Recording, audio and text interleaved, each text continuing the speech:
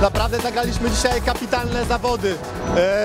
Szukaliśmy przez 15 minut system obrony dzisiaj dla zespół e, z Aleksandrowa, który grał bardzo dobrze przez e, ten czas. Znaleźliśmy odpowiedni system obrony i później konsekwentnie, krok, krok po kroku jakby graliśmy. Do przerwy mieliśmy problem jeszcze jakby ze zbiórką i troszeczkę takim właśnie czytaniem jeszcze gry w obronie, a po przerwie graliśmy kapitalną obronę.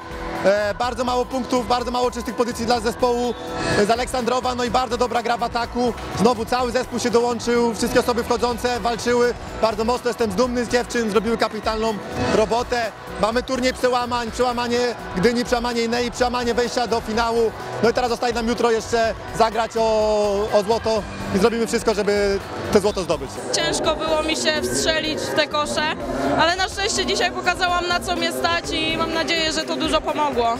No właśnie, po raz pierwszy będziecie walczyły jutro o tytuł Mistrzyń Polski. No tak, to jest niesamowite uczucie. Niektóre dziewczyny grają tutaj po 8 lat, nie mamy żadnego medalu. Zawsze to pechowe czwarte miejsce, piąte, ale na szczęście w się w końcu udało przełamać tą barierę. radość y, chyba nigdy nie ominie, po prostu to jest, to jest nie do, nie do opisania, po prostu tak się cieszymy z wygranej. Pierwszy raz w sumie w tym zespole mamy jakiś medal z, ta, z taką drużyną i po prostu wygrałyśmy i z Gdynią i z Ineą, gdzie zawsze o tym marzyłyśmy i marzenia się spełniają. No właśnie, tyle lat ciężkiej pracy wreszcie przynosi efekty.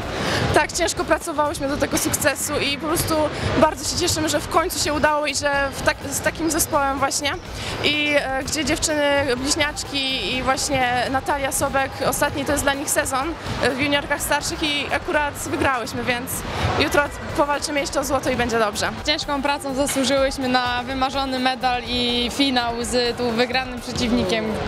No e, myślę, że po raz e, trzeci, no bo ten mecz z Widzewem jednak musimy zapomnieć, realizowaliśmy w 100% założenia przedmeczowe.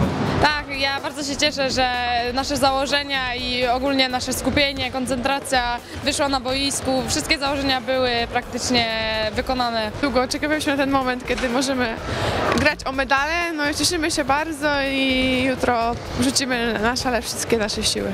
Ta ostatnia kwarta to prawdziwa dominacja AZS-u. Tak, no postawiliśmy zonę na całym, wybroniłyśmy wszystko, no i poszły kontry i zwyciężyłyśmy. Marzyłyśmy o tym, żeby dzisiaj wygrać. Ja tak, ja tak samo podeszłam do, me, do meczu na maksa skoncentrowana. Założyłam sobie przed meczem, że dam z siebie dzisiaj 200-300% i jak sobie założyłam, tak, tak też zrobiłam. Dałam z siebie wszystko i myślę, że to też zaprocentowało o zwycięstwie całej drużyny.